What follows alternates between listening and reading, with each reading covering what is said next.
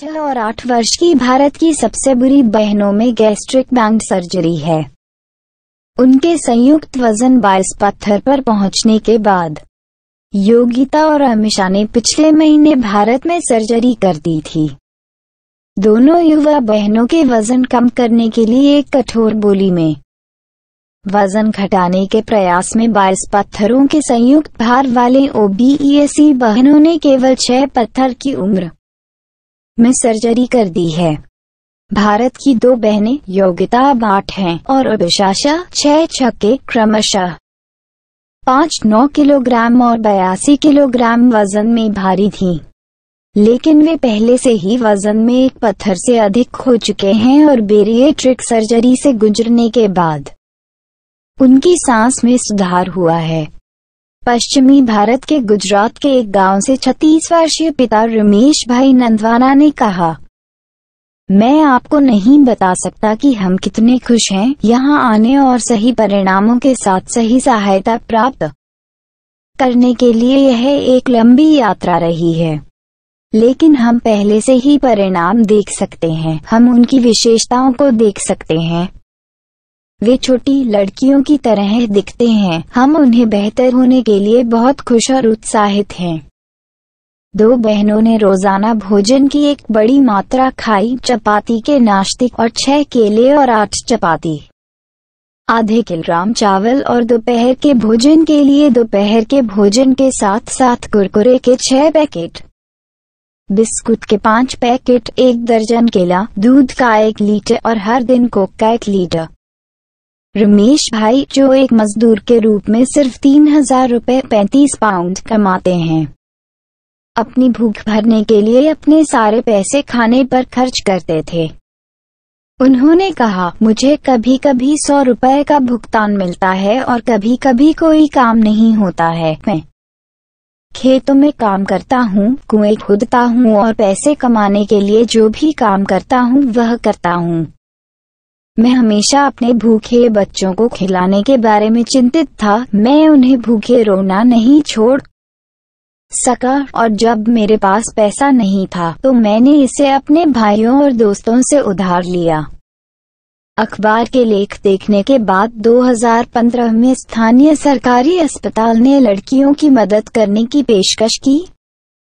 और रमेश भाई को अपनी बेटियों को ज़्यादा नाराज़ करने की सलाह दी, लेकिन जब भी उनका आहार दो चपेटियों और दोपहर के भोजन और रात के खाने के लिए मिश्रित सब्ज़ी शोरबा तक गिर गया, तब भी लड़कियों ने वज़न हासिल करना जारी रखा। अगले तीन वर्षों के लिए परिवार को पूरे भारत में विभिन्न अस्पतालों में मदद की मांग की गई। लेकिन कोई परिणाम या लंबी अवधि के वज़न घटाने से लड़कियों को स्वस्थ होने में मदद मिली। हालाँकि पिछले महीने अहमदाबाद, पश्चिमी भारत में एशियाई बरेरिक्स क्लिनिक के एशिया के शीर्ष बेरियाट्रिक सर्जन डॉट महेंद्र नारवरिया ने परिवार को एक बैठक के लिए आमंत्रित किया। परिवार ने अपने गाँव से अहमदाबाद में नौ घंटे की ट्रेन यात्रा की और डोर नारवारिया से मुलाकात की। डोर नारवरिया ने रमेश भाई की निःशुल्क सहायता का वादा किया। और बहनों की सर्जरी की पेशकश की ताकि पेट में शल्य चिकित्सा और दीर्घकालिक परामर्श और स्थायी वज़न घटाने और हार्मोन और विटामिन के पाठ्यक्रम पर मार्गदर्शन कम किया जा सके। डोर नारवरिया ने कहा, यदि छोड़ा गया तो इन बच्चों को वयस्कता नहीं दिखाई देगी। वे युवा मर जाएँगे। इन बच्चों को अपने वज़न को कम करने के लिए मेरी मदद की ज़रूरत है। और फिर उनकी स्थिति को स्थिर करने के लिए दीर्घकालिक योजना पर जाएँ। उनकी हालत के लिए कोई नाम नहीं है। उनके पास आनुवांशिक समस्या है और लेप्टीन रिसेप्टर की कमी है। लेकिन अगर मैं उन्हें बेहतर बनाने में मदद कर सकता हूँ तो मैं करूँगा। मैं इस सर्जरी के लिए बच्चों को कभी चार्ज नहीं करता हूँ। अगर इन्हें लंबे जीवन जीने का कोई मौका मिलता है तो इन बच्चों को तत्काल मदद की ज़रूरत है। पिछले महीने 6 मार्च को योग्यता को अमिशा को सर्जरी में ले जाया गया ताकि उनके पेट का एक हिस्सा हटा दिया जा सके। अगले दिन लड़कियाँ केवल तरल पदार्थ पर थीं और सात दिनों के बाद वे धीरे धीरे ठोस खाद्य पदार्थों को फिर से शुरू करना शुरू कर दिया, लेकिन बहुत छोटे हिस्से।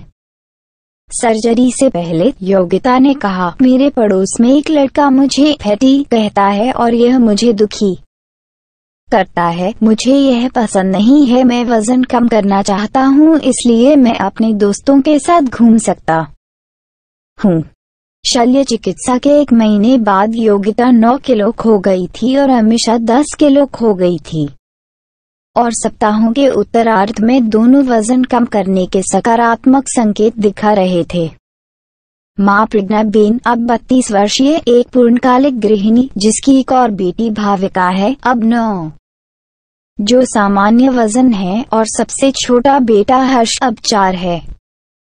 जो पहले ही चौबीस दशमलव छह किलो वज़न का वज़न कर रहा है, लेकिन इसका इलाज नहीं किया जा रहा है रसोई घर में अपना पूरा समय बिताएँ। उसने कहा, मेरे दिन चपाती और करी बनाने से भरे होते थे और भारी नाश्ता और दोपहर के भोजन के बावजूद वे हर समय भोजन मांगते थे और रोते थे और चिल्लाते थे तो चिल्लाते थे मैं हमेशा रसोई के लिए खाना पकाने में था, लेकिन अब वे छोटे भोजन खाते हैं, यह अधिक नियंत्रित है